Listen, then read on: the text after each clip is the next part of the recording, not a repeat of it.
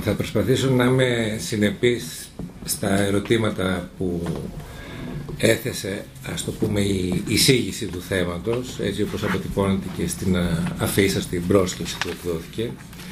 Αν και κατά τη γνώμη μου δεν διατυπώνονται όλα τα ερωτήματα που αφορούν πιο ειδικά, όχι μόνο συνολικά την κρίση στην Ευρωπαϊκή Ένωση, την κρίση του Ευρωπαϊσμού, αλλά και ειδικά την Ελλάδα. Και εννοώ ότι δεν διατυπώνεται το πολιτικά άμεσο και πολύ βασικό κατά τη γνώμη μου ερώτημα, δίλημα που έχει να αντιμετωπίσει εδώ και τώρα η αριστερά ως δύναμη που κατά κάποιο τρόπο εξωθείται προς την εξουσία, κυριολεκτικά σπρώχνεται από την κοινωνία ή από ένα σημαντικό τμήμα της, να κολυμπήσει στα βαθιά και αχαρτογράφητα νερά της κρίσης που βιώνουμε. Το δίλημα αυτό κατά τη γνώμη μου είτε το θεωρήσει κανείς προϊόν απλωστεύσεων και στερεοτύπων είτε προκύπτει από την πρωτοφανή συγκυρία που έχει διαμορφωθεί στη χώρα είναι προφανώς το αν μπορεί να υπάρξει διέξοδος και για την Ελλάδα και για άλλες κοινωνίες του λεγόμενου Νότου εντός της Ευρωζώνης και της Ευρωπαϊκής Ένωσης ή εκτός αυτών. Αυτό το δίλημα δεν μπορεί κατά τη γνώμη μου κανείς να το αποφύγει, όχι μόνο γιατί αποτελεί επίκεντρο μιας διχοστασίας εντός της αριστεράς και όχι μόνο, αλλά και γιατί είναι ένα δίλημα που αντιμετωπίζει ως υπαρκτό ένα σημαντικό τμήμα της κοινή γνώμης, ε, αρκετές ε, κοινωνίες ευρωπαϊκές που έχουν το βίωμα των μνημονίων έχουν βρεθεί επίσης ενώπιον του διλήμματος αυτού και επίσης πρόκειται για ένα δίλημα που αρκετές φορές αποτυπώνεται και στις δημοσκοπήσεις περιμένετε να κλείσω ένα τηλέφωνο γιατί είναι ενοχλητικό. Είναι άλλο ένα δίλημα. Λοιπόν. Δεν έχει μάθει το αθώδημα. Συγγνώμη. Λοιπόν, πάμε τώρα στο κυρίως θέμα. Κρίση του ευρωπαϊσμού. Πρέπει, κατά τη γνώμη μου, πρώτα πρώτα να ξεκαθαρίσουμε τι είναι ευρωπαϊσμός. Νομίζω ότι δεν εννοούμε όλοι το ίδιο πράγμα και ούτε είναι ένα ιστορικά ενιαίο πράγμα ο ευρωπαϊσμός. Υπάρχει ο ευρωπαϊσμός που αποτελεί το ιδρυτικό πλαίσιο της ε, ευρωπαϊκής κοινότητας άνθρακα χάλιβα αρχικά, ΕΟΚ αργότερα Ευρωπαϊκής Ένωσης, αλλά ως ΕΚΑΧ στις ειδικές συνθήκες που δημιούργησαν η εμπειρία του Δεύτερου Παγκοσμίου Πολέμου και η μεταπολεμική διαίρεση της Ευρώπης και της ίδιας της Γερμανίας. Ποια είναι το νόημα αυτό, ποιο ήταν το νόημα αυτού του Ευρωπαϊσμού, η ιδέα μιας εμπορευματικής, τελωνιακής, οικονομικής και πολιτικής ένωσης που υποτίθεται ότι θα εξάλληφε τα κίνητρα στους πρωταγωνιστές του βιομηχανικού και χρηματοπιστωτικού ανταγωνισμού στη Γυραιά Ήπειρο, τα κίνητρα να εκτρέπουν αυτόν τον ανταγωνισμό σε ηγεμονισμό και τελικά σε πολεμικούς τυχοδιοκτισμούς σαν τους πολύ ακραίους που έζησε η Ευρώπη ε, στον 20ο αιώνα. Ωστόσο αυτός ο μεταπολεμικός ευρωπαϊκός φεντεραλισμός εκ πρώτης όψεως φιλιρινικών προθέσεων εδράστηκε, ρεώθηκε σε δύο παραδοξότητες.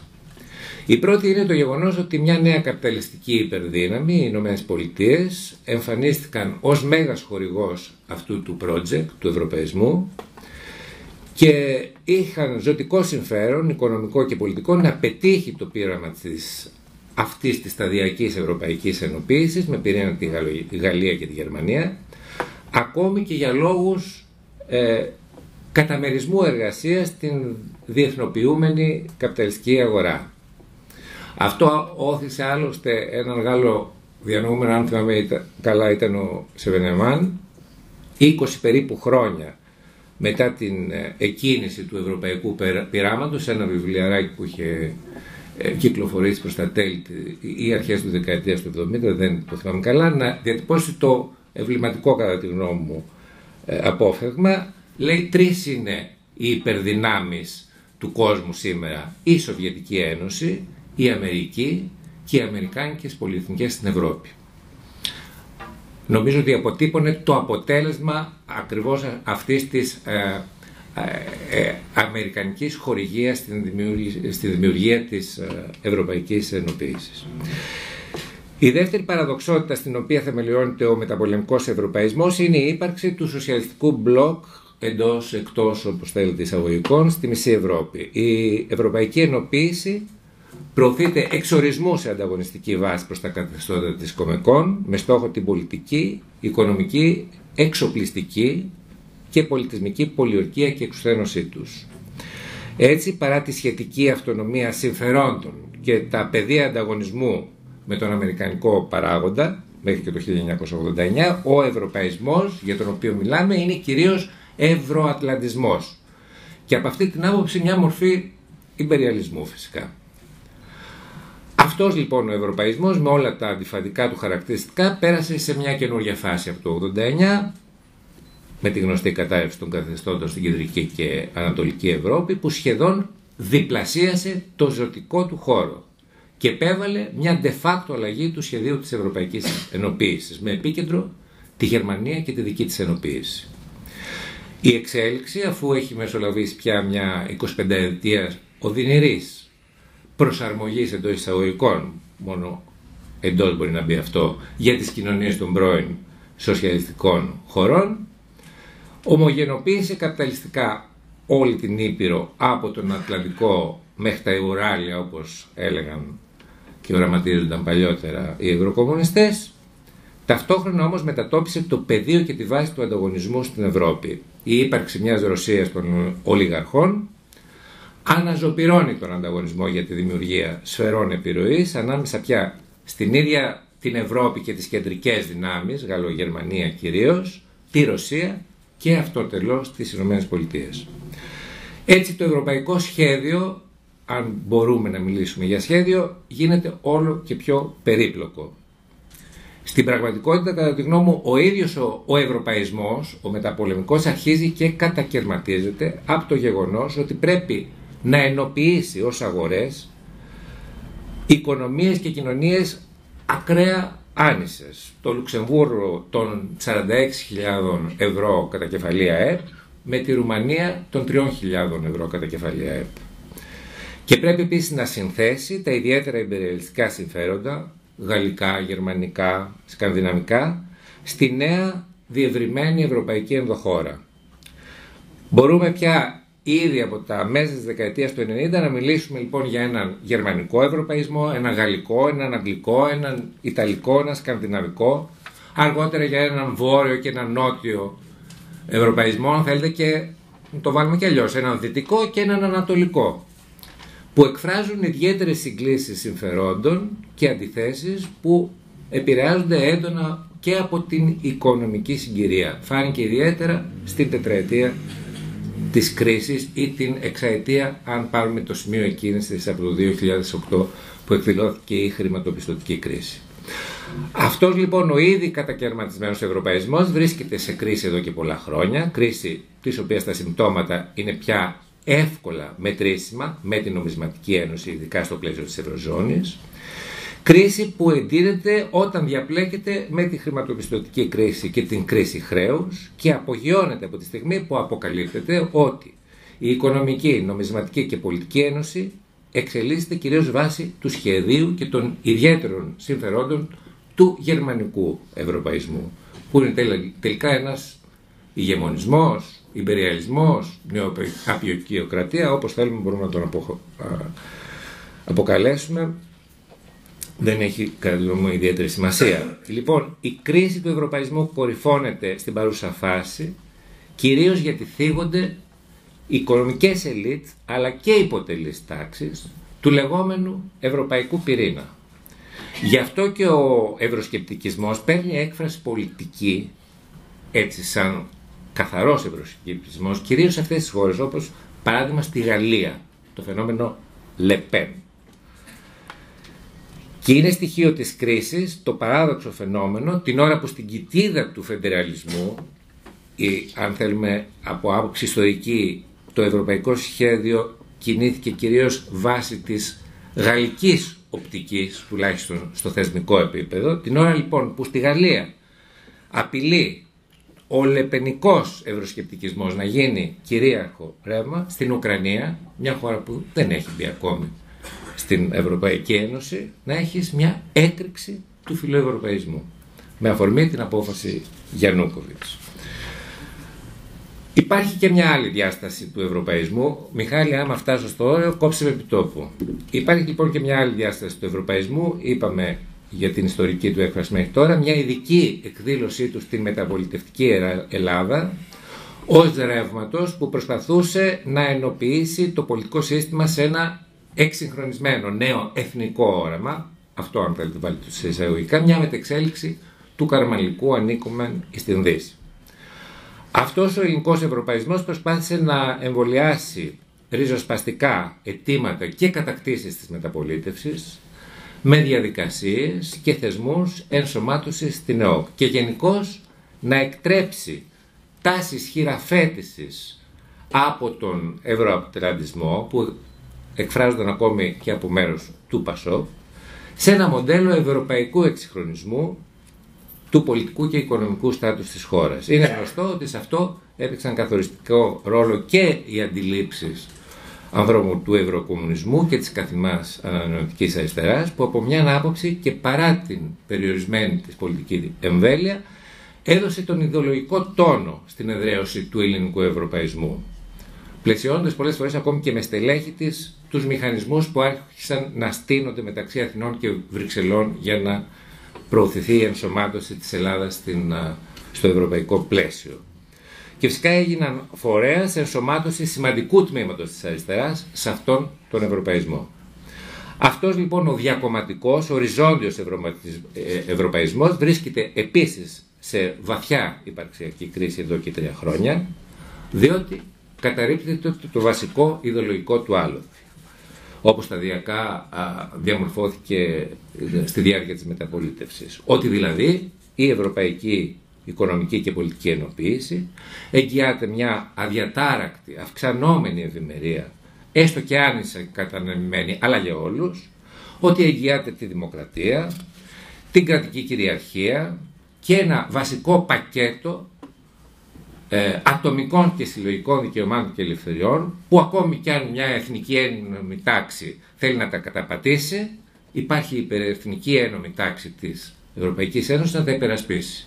Νομίζω ότι δεν χρειάζεται πια ιδιαίτερη επιχειρηματολογία για να πούμε ότι αυτά τα άλοθη έχουν καταρρεύσει και ότι το ευρωπαϊκό κεκτημένο έτσι όπως είναι σήμερα διαμορφωμένο είναι ασύμβατο και με, γίνεται ασύμβατο όλο και πιο ασύμβατο και με τη δημοκρατία και με την εθνική κυριαρχία και με τα ατομικά και συλλογικά δικαιώματα και από αυτή την άποψη συμφωνώ με την παρατήρηση του Ρούντι ότι είμαστε ολοταχώς πίσω στο 1848. Υπάρχει και άλλη μία τρίτη εκδοχή του α, ευρωπαϊσμού, ας πούμε πιο θετική, πιο λαμπερή. Υπάρχει το όραμα της Ευρώπης των λαών, της δημοκρατίας των, και της ισονομίας και της αλληλεγγύης όπως υπάρχει και το όραμα μιας Ασίας των λαών, μιας Αμερικής των λαών, μιας Αφρικής των λαών. Και η αριστερά φυσικά ως διεθνιστική δύναμη είναι βασικός εκφραστής α, αυτής της α, αντίληψης του, αυτού του ευρωπαϊσμού. Ωστόσο, νομίζω ότι ως αριστερά και ως επιμέρους πολιτικοί φορείς κλπ. δεν έχουμε διανύσει ιδιαίτερα μεγάλη απόσταση από την εποχή που ο Λένιν έλεγε ότι οι Ηνωμένες Πολιτείες της Ευρώπης ή θα είναι σοσιαλιστικές ή δεν θα υπάρξουν ποτέ. Καθώς η ΕΣΤ και η Σοβιετική Ένωση και οι σοσιαλιστικές χώρες εντός εκτός, το υπενθυμίζω λίγο, γίνεται λίγο κλεισέ, της Ευρώπης εξελίχθηκαν σε εφιάλτη για τις κοινωνίες τους και κατέρευσαν προκαλώντας τεράστια ανθρωπιστική καταστροφή με την οποία ελάχιστα ασχοληθήκαμε πριν φτάσει στο κατόφλι μας, έχει δημιουργηθεί ένα τεράστιο θεωρητικό και πολιτικό κενό στο πώς ακριβώς φτάνουμε στην Ευρώπη των λαών. Από την άποψη αυτή και η τρίτη, ας πούμε η υγιέστερη, η προοδευτικότερη εκδοχή ευρωπαϊσμού βρίσκεται και αυτή σε κρίση, ίσως δε να αποτελεί και μέρος του προβλήματος, του αδιεξόδου και της, και της σύγχυσης που αφήνει χώρο στον ακροδεξιό εθνικιστικό ευρωσκεπτικισμό. Τώρα, να κάνουμε ένα άλμα στο σήμερα. Υπάρχει λίγο πολύ μια κοινή αρνητική αξιολόγηση ενώ σε όλες τις απόψεις και εκδοχές ας πούμε αριστερής προσέγγισης του, του προβλήματος και όχι μόνο αριστερής ως προς το τι είναι η Ευρωπαϊκή Ένωση και η Ευρωζώνη σήμερα ιδιαίτερα σε τι έχει διαμορφωθεί τα χρόνια από την εκδήλωση της χρηματοπιστωτικής κρίσης και μετά. Είναι κοινή η αρνητική αξιολόγηση τόσο σε ευρύτερα στρώματα της κοινωνίας όσο και στο πολιτικό σύστημα. Αυτή η κοινή αξιολόγηση αφορά όμως μόνο το, το θυμικό, τη διάθεση. Υπάρχουν διαφορετικές προσεγγίσεις όμως ως προς την ουσία της αρνητικής αυτής αξιολόγησης. Τι φταίει με την Ευρωπαϊκή Ένωση και το ευρώ; Άλλοι προσεγγίζουν το πρόβλημα, το ζήτημα ως πρόβλημα ιδεολογικής και πολιτικής κυριαρχίας του νεοφιλελευθερισμού στα κέντρα λήψης των αποφάσεων. Άλλοι ως έκφραση της κυριαρχίας της γερμανικής ελίτ και των στενότερων συμμάχων της. Άλλοι το αντιλαμβάνονται κυρίως ως πρόβλημα των ανισοτήτων και αντιθέσεων που έχουν εδρεωθεί μεταξύ βορρά-νότου. Μια τέταρτη κατηγορία στην οποία εγώ τουλάχιστον κλείνω, αντιλαμβάνονται το πρόβλημα ως κατασκευαστικό. Τόσο για την Ευρωπαϊκή Ένωση, όσο και για την Ευρωζώνη. Η αλήθεια είναι ότι ως αριστερά, ως ιδεολογικά ρεύματα μαρξιστικής καταγωγής και προέλευσης, κινούμαστε πράγματι σε άγνωστα νερά. Όσο σε άγνωστα νερά κινήθηκαν και οι ίδιοι συντελεστές βέβαια της ε, ευρωπαϊκής αρχιτεκτονικής, της αρχιτεκτονικής του, ε, της Ευρωζώνης ας πούμε. Ένα, είναι ένα πράγμα που διαμορφώνεται σαν work in progress που λέμε, δηλαδή βλέποντας και κάνοντας. Αυτό άλλωστε το έχουν πάθει και οι ίδιοι οι διανοητές και οι τεχνοκράτες και οι ενσιανοί νεοφιλελεύθεροι, οι οποίοι είχαν εκπαιδευτεί αποκλειστικά στα οικονομικά της ευημερίας, με μερικές παρενθέσεις κρίσεων. Και βρέθηκαν αντιμέτωποι με μια κρίση πρωτοφανής σε διάρκεια και σε ποικιλία εκδηλώσεων. Αυτό συνέβη και με τους κατασκευαστές του ευρώ, που πίστευαν ότι το Μάστριχ ήταν αρκετό. Στην τετραετία της κρίσης χρέους ε, γνωρίζουμε ότι αναγκάστηκαν να επινοήσουν και να φέρουν μέσα από δεκάδες συνόδους καινούργια θεσμικά πλαίσια που επιταχύνουν την οικονομική, νομισματική και πολιτική ένωση με μέσα που δεν ήταν και τόσο έτοιμοι να διαχειριστούν.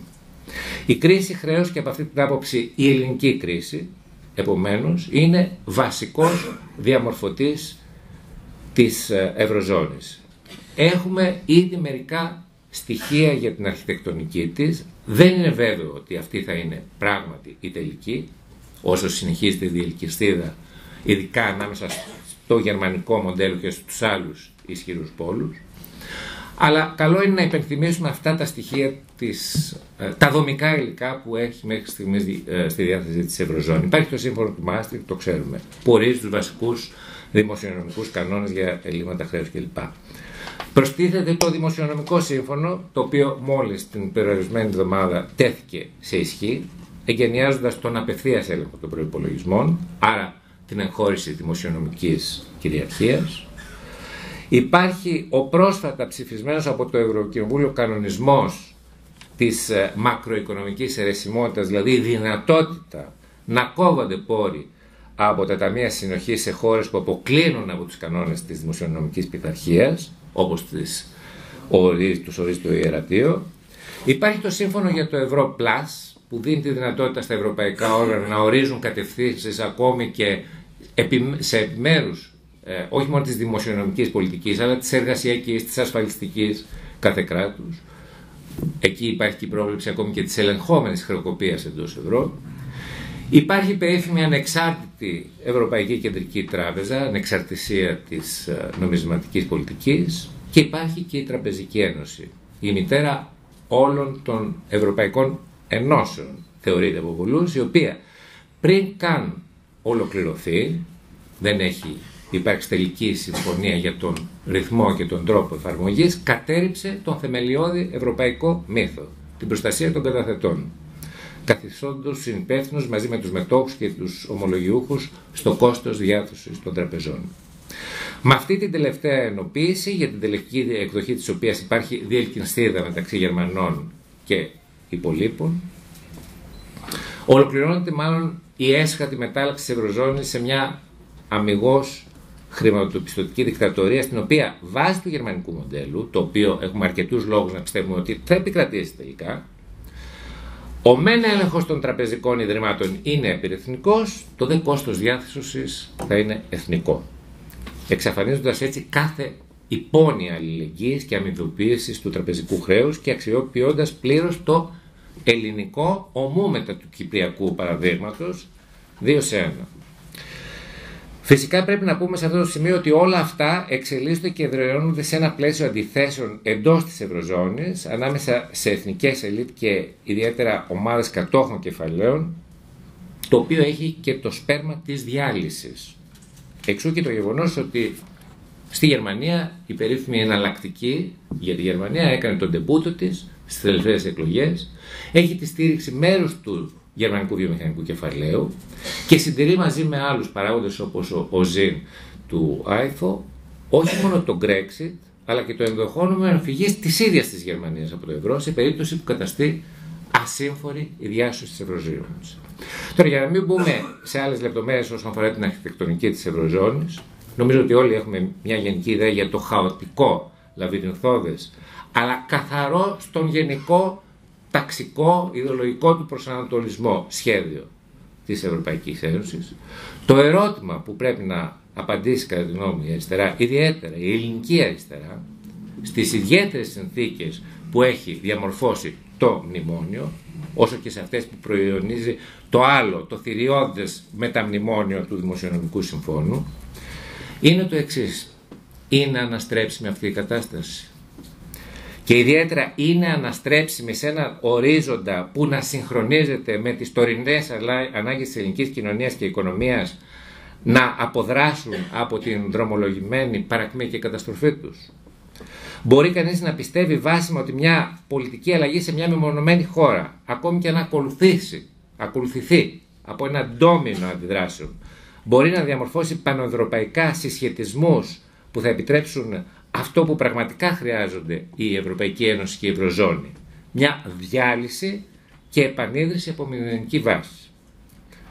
Πώς ακριβώς θα πιστούν ή θα πιθαναγκαστούν οι οικονομικές ελίτ της Γερμανίας και άλλων χωρών να παρατηθούν από τα προνόμια τους, από τα πλεονάσματά τους που τους εξασφαλίζουν τις, που, τις συνθήκες λειτουργίας του ευρώ; Πώς θα πιστούν να μοιραστούν αυτά τα πλεονάσματα με φτωχότερες χώρες. Δηλαδή να πάψουν να σκέφτονται αστικά, καπιταλιστικά, άπλιστα.